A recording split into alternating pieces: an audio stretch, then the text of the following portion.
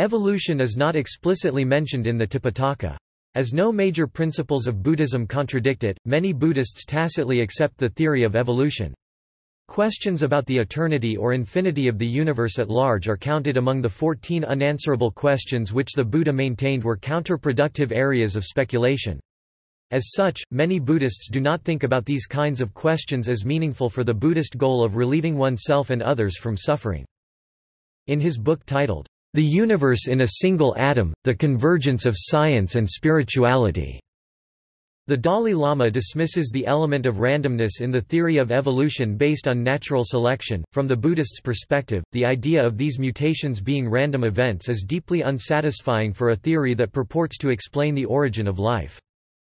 Donald S. Lopez, a renowned professor of Buddhist and Tibetan studies explains in his book, Buddhism and Science, A Guide for the Perplexed, that in Buddhism, the process of rebirth into any of a large number of states of being including a human, any kind of animal and several types of supernatural being is conditioned by karma action of consciousness, which explains Dalai Lama's view.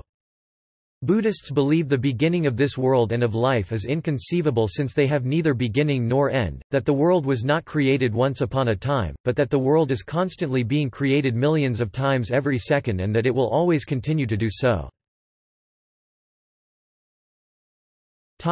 Buddhist views Albert Low, a Zen master and author of The Origin of Human Nature, a Zen Buddhist looks at evolution, 2008 opposes neo-Darwinism and the selfish gene theory as he claims they are materialistic. He also opposes creationism for being dogmatic and instead advocates spiritual evolution. The Buddhist writer Anagarika Dharmapalavan once stated that, the theory of evolution was one of the ancient teachings of the Buddha. However, it has long been taught that indifference to certain matters regarding life and its origins should be practiced. This parable of the arrow has often been used to illustrate the Buddha's teachings that Practitioners who concern themselves with the origins of the universe and other topics are missing the point of their religious practice. Suppose someone was hit by a poisoned arrow and his friends and relatives found a doctor able to remove the arrow. If this man were to say, I will not have this arrow taken out until I know whether the person who had shot it was a priest, a prince or a merchant, his name and his family.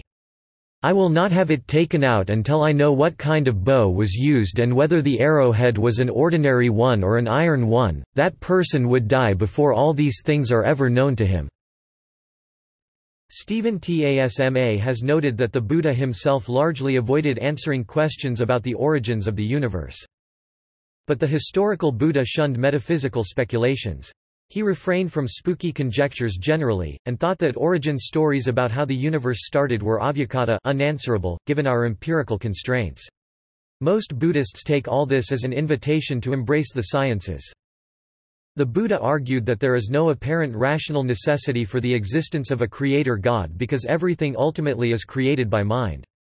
Belief in a creator is not necessarily addressed by a religion based on phenomenology, and Buddhism is generally accepting of modern scientific theories about the formation of the universe. This can be argued either from the standpoint that it simply does not matter, or from an interpretation of the Aggañña Sutta favoring the notion that it describes the basic concept of evolution. Aggañña Sutta In the Aggañña Sutta, the 27th sutta of the Digha Nikaya collection that can be found in the Pali Canon, the Buddha gives a highly detailed answer to this question of evolution. The Buddha, speaking to the monk Vasetha, a former Brahmin, states the following There comes a time, Vasetha, when, sooner or later after a long period this world contracts. At a time of contraction, beings are mostly born in the Abhassara Brahma world. And there they dwell, mind-made, feeding on delight, self-luminous, moving through the space, glorious. And they stay like that for a very long time. But sooner or later, after a very long period, this world begins to expand again. At a time of expansion, the beings from the Abhassara Brahma world, having passed away from there, are mostly reborn in this world. Here they dwell, mind-made, feeding on delight, self-luminous, moving through the air, glorious. And they stay like that for a very long time. At that period, Vasetha, there was just one mass of water, and all was darkness, blinding darkness. Neither moon nor sun appeared, no constellations or stars appeared, night and day were not yet distinguished, nor months and fortnights, nor years and seasons, there was no male and female, beings being reckoned just as beings. And sooner or later, after a very long period of time, savory earth spread itself over the waters where those beings were. It looked just like the skin that forms itself over hot milk as it cools. It was endowed with color, smell, and taste.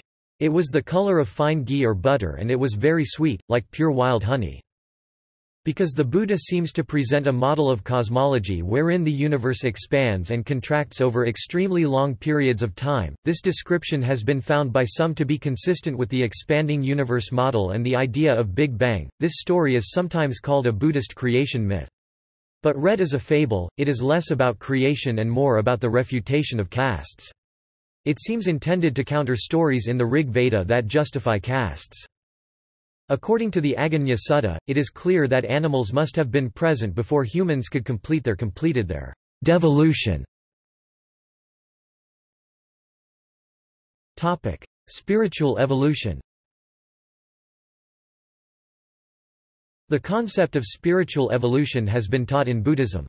William Sturgis Bigelow, a physician and Buddhist, attempted to merge biology with spirituality, he accepted the existence of both material and spiritual realms. Many of his ideas were discussed in his book Buddhism and Immortality 1908. Bigelow used the concept of natural selection as a mechanism for evolution.